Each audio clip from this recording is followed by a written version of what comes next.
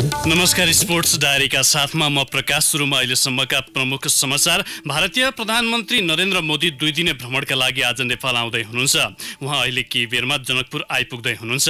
यसबारे थप जानकारी दिन जनकपुरबाट सहकर्मी दिवा भट्टरा यतिखेर हाम्रो टेलिफोन सम्पर्कमा हुनुहुन्छ। दिवाजी।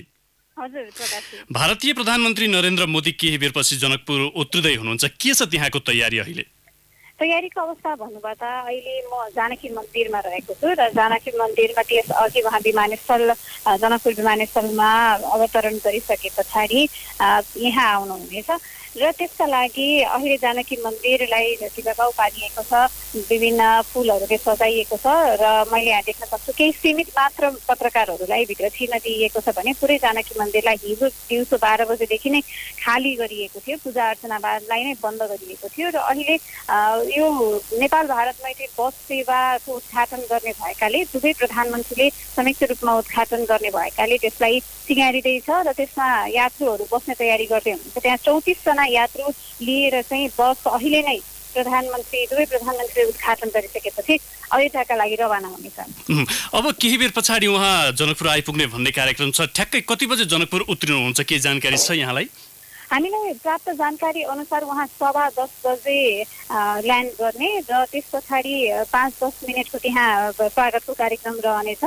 र विमानस्थलदेखि जनकपुर जानकी मन्दिरसम्म आइपुग्दा दस मिनट जतिको समय लाग्न सक्छ र त्यसपछि उहाँ यहाँबाट पूजा यहाँ केपी प्रधानमन्त्री केपी ओलीले उहाँलाई स्वागत गर्नुहुनेछ र सँगै नै आउने जस्तो कुरा अहिलेसम्म सुनिएको छ। तर अहिलेसम्म प्रधानमन्त्री केपी ओली पनि यहाँ आइपुग्नु भएको अवस्था छैन र उहाँ यहाँ आइसकेपछि प्रधानमन्त्रीले यहाँ स्वागत गर्ने र दुवैजनाले भित्र गएर संयुक्त रूपमा राम जानकीको पूजा गरिसकेपछि बाहिर आएर नेपाल भारत यो अयोध्या जान जनकपुर अयोध्याको बस सेवाको शुभारम्भ गरिसकेपछि केही दुवै प्रधानमन्त्रीले यहाँ बोल्नु हुनेछ भन्नेसम्म हामीले जानकारी प्राप्त गरेका त्यसबाहेक आज जनकपुरको पहिलो दिनको भ्रमणको कार्यतालिका चाहिँ अन्य के रहेका छन्? जनकपुरमा के के गर्नुहुन्छ आज भारतीय प्रधानमन्त्रीले? उहाँ जनक यहाँ जानकी मन्दिरको पूजा र यहाँको यो उद्घाटनको कार्यक्रम जानकी मन्दिरको कार्यक्रम सकिसके पछाडि नागरिक अभिनन्दनका लागि बाह्रबिघा जानुहुनेछ। रङ्गभूमि बाह्रबिघामा अहिले अ, छिमेकी जिल्ला महोत्तरी सिराहादेखि र सप्तरीदेखि समेत यहाँ सर्वसाधारणहरूको लाम लागेको छ। दस बजेसम्म मात्रै भित्र छिर्न दिइने भएकाले धेरै सर्वसाधारणको सङ्ख्यामा मैले देख्न सकेको थिएँ।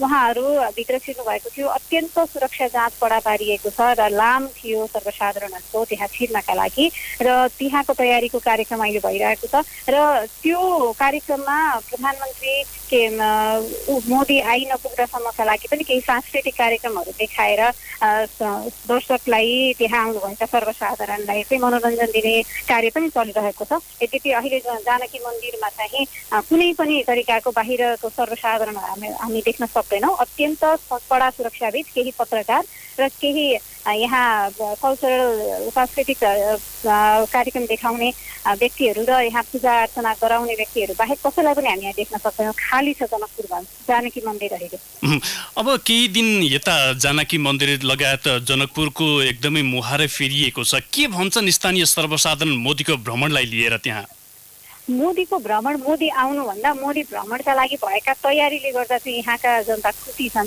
त्यो जनता खुसी हुनुको कारण कहिले पनि सफा नभएको सडक सफा हुन पिच हुन एक रातमा नै पिच भएको छ। जुन चाहिँ केही समयपछि नै त्यहाँ ढल बनाउनका लागि भत्काउनु पर्ने पिच समेत अहिले भएको छ?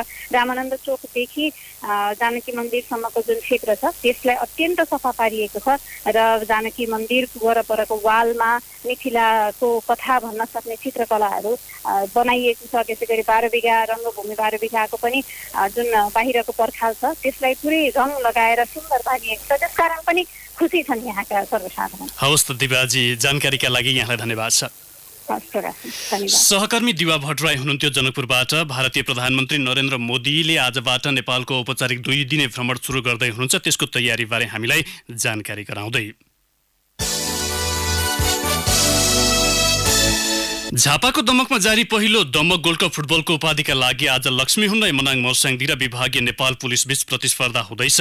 मनाङले उपाधि दावेदार त्रिभुवन आर्मीलाई हराउँदै उपाधि यात्रा तय गरेको हो भने पुलिसले अर्को विभागीय एफिएफलाई हराउँदै फाइनलमा स्थान तयार स्थान बनाएको थियो। दुवै टोलीले उपाधि आफूले जित्ने दावी गरेका छन्। मनाङका प्रशिक्षक फुजा टोपेले कडा मेहनत र उच्च आत्मविश्वासका साथ आफ्नो टोली मैदान उत्रने बताएका छन्। पुलिसका प्रशिक्षक अनन्त राज थापाले आफ्नो टोलीमा युवा खेलाडीहरूको बाहुल्यता रहेकाले सो ऊर्जालाई मैदानमा प्रस्तुत गर्दै उपाधि हात पार्ने दावी गरेका छन्। दुई टोली बीचको प्रतिस्पर्धा दमक बहुमुखी क्याम्पसको खेल मैदानमा अपरान्न तीन बजेपछि सुरु हुनेछ। प्रतियोगिताको उपाधि विजेताले तेह्र लाख एघार हजार र उपविजेता टोलीले छ लाख एघार हजार रुपैयाँ हात पार्नेछन्। स्पोर्ट्स डायरीमा अब ब्रेकको पालो। अब बाँकी प्रसङ्ग Sunrisers Hyderabad Indian Premier League cricket आइपिएलको प्ले अफमा प्रवेश गरेको छ। गैराती दिल्ली डियर डेभिल्सलाई नौ विकेटको फराकिलो अन्तरले हराउँदै हैदराबाद प्ले अफमा पुग्ने पहिलो टोली बनेको हो। दिल्लीले प्रस्तुत गरेको एक सय अठासी रनको उच्च चुनौती उसले सात बल लगावै एक विकेट गुमाएर भेटायो उसको जितमा शिखर धवनले अभिजित बयानब्बे र कप्तान केन विलियमसनले त्रियासी रनको योगदान गरे। एघार खेलको समाप्तिमा अठार अङ्क जोडेको हैदराबाद तालिकाको शीर्ष स्थानमा छ। यसअघि घरेलु मैदानमा टस जितेर पहिले ब्याटिङ गरेको दिल्लीले निर्धारित ओभरमा पाँच विकेट गुमाएर एक सय सतासी रनको योगफल तयार पारेको थियो।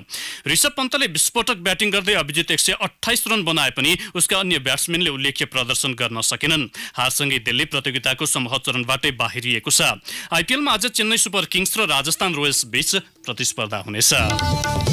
हवस् त नै प्रसङ्ग सहित स्पोर्ट्स डायरी अहिलेलाई यही सकिन्छ। एघार बजे आर्ट एन्ड इन्टरटेनमेन्ट डायरीका साथ उपस्थित हुने नै छौँ। तबसम्मलाई म प्रकाश आज्ञा माग्छु। नमस्कार।